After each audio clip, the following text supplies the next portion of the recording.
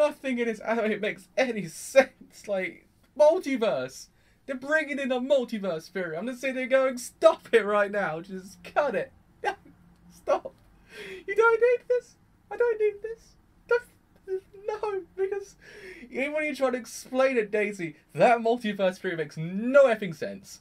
I mean, for every single wish that's created, like kind of granted, other worlds get created, and inside that world, more minds are created. So it just it's like an infinite loop of different things that's going on in that world, and you kind of find out the gate's actually the mental state world, and then the world we're living, like they living, I guess, is actually where your heart and soul is, but the minds exist in another plane.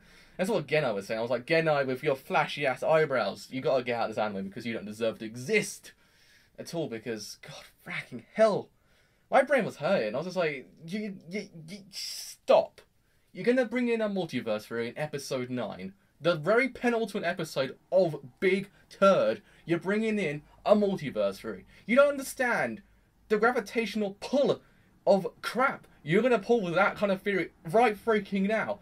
It's just like it's like saying Okay, good example. Here's another example. You only seen Spectator Spectre, not Spectator. Spectre, do not watch it, it's a terrible film, but the whole theory when Christoph Waltz says, I'm actually the cause of your entire misfortune. It was like, wait a second that makes no sense. In sense, you just can't say, and you just can't sit there and say, I did all of this without ever being mentioned. Same thing goes with this. You can't just bring a multiverse through never, it never ever being mentioned. I thought to myself, what? How? Nani? What? I don't. I just. I don't. And then in the end, Senna actually stabs Eiji because she remembers everything. She remembers actually she's the root cause of the like kind of great destruction. I thought to myself, what? And then that's where the eh, that's where it ends. Literally, it's where it ends. It ends on him getting was like, okay, is is here's Joe's thoughts of that scene. You can't just go and kill off the MC straight away, though he felt that, in a sense he actually felt that stab. In a he had his arm chopped off, his leg chopped off, didn't feel a thing. Got stabbed by Senna, he felt it. I was like, this makes no sense. It's like, how can you not feel getting your arms chopped off or your legs chopped off, but you get felt you feel getting stabbed? I just like, ah, god damn it. And then, yeah, Io and Io and Eiji bang almost, and Eiji's all like Senna, and it stops because she he's all like she, she's the only one I've got, and then she's he I'm the only one she's got, and then so, and then I guess Io's all like. Well, fracking hell, mate! I was gonna bang you right now, but now I can't because you just said that. Like, I, I just this is gonna be awkward. I just can't. Like, mate, you just killed the entire mood. And then yeah, lucky I mean, lucky it stopped at that one scene because if it carried on, I think I might have lost faith in humanity at all because it was going places. I was just like, no, please stop it. I, I put up with a sex scene in Future Diary, which was less gratuitous in the anime. I think it's more gratuitous in the manga, but still, put up with that. I put up, you're like a baby sucking my nipples. I put up with that one line, which kind of killed everything I had in humanity.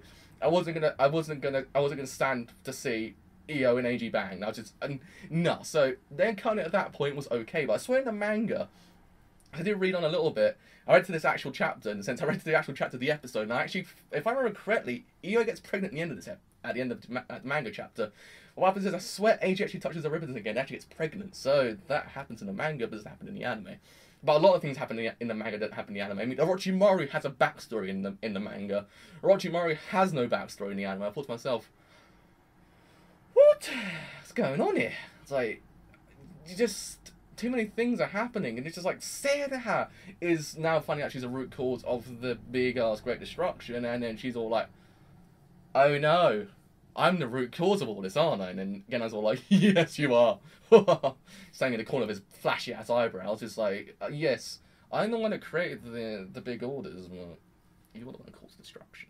Which is like, I don't want, it's like, I guess Avatar to create this episode as well, in a sense. That was one thing that just came out of left field. Like, literally, I was like, okay, so you explain the fact that actually now Avatar. So I'm guessing Avatars are things that don't want you to remember everything, but then again, I was all like, remember everything, and then Senna remembers everything, and then she turns into, and then she kind of gets out of her suit and gets into this gratuitous kind of suit. I was like, okay, and then yeah, Eiji gets stabbed. I was like, no, no, stop after you're to explain the multiverse theory, you're going to ditch that compl- entire plot point within 10 seconds. Like, that's to be explained every, and because I was sitting in the, I was sitting on the bus on the way home from my college, and I was sitting there going, What happened to the atomic um, bomb girl? And since I actually couldn't stop atomic bombs or nuclear bombs or something like that, what happened to her? She was saved, never mentioned. But then you kind of get the whole immortal relationship with Eiji and Senna as well. That's the whole other thing that kind of really got with me because Rin, she goes to Rin, goes, "You can't have him because Eiji's all mine." I was like, "No, stop, cut, no, stop it, just no, just stop it now." And then Rin manages to get out of those clasps by actually ripping her skin off, which if I remember correctly, would cause a lot of pain. Even though she's immortal, don't get me wrong, but it would cause a lot of pain. And since she really just can't hold a sword after that, since she's actually immortal, I get that. Like, she can just get stabbed and just come back up and go, you know what, fam? I'm here back. I'm back here now, fam. And then, yeah, she can do that, but this still makes no sense how she managed to get out of that whole entire situation and not feel any pain. She just completely just got out fine, and then holding the and goes to Genna. I was like, you can't do this! And then Genna's all like, bam! And then throws off the edge, and then she's gone. And then Hiragi's kind of just going in, and then Io's saying like, we could have banged, mate, and then we didn't bang, so I'm pretty pissed off right now, and since I didn't have my child, so get your facts together, mate. Is it me or Senna? Is it me or Senna? Or I'm gonna leave you right now, in the sense it's like literally gonna turn into a Jerry Springer episode by the end of this anime. Literally, it's gonna be a Jerry Springer episode because I have no idea anymore. I just when they brought the multiverse through, and I was like, what? And so it's, it's, episode nine. You can't just do that. You can't just go, yeah, multiverse, mate. You can't just do that. It doesn't work like that. Something like that has to be explained at least episode five. Hinted at. Then episode six, explore it. And then later on, just like, uh, you know what, multiverse theory, you are fam. You can't just go and say multiverse theory now.